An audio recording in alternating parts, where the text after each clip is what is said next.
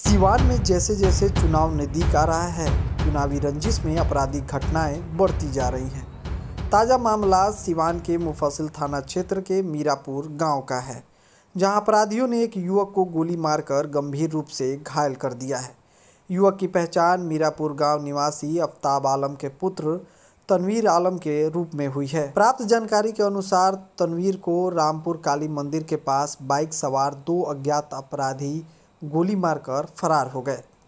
गोली तनवीर के दाएँ हाथ में लगी है।